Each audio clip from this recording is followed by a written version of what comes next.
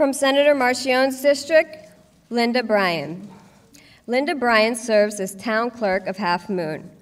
For 25 years, she helped organize Christmas parties, bringing cheer to the residents of Bishop Hubbard Senior Apartments. She worked at the Senior Center and assisted them in obtaining a new van, and Miss Bryan was named president of the Halfmoon Historical Society and has worked on community events, including the Historical Markers Program. Congratulations.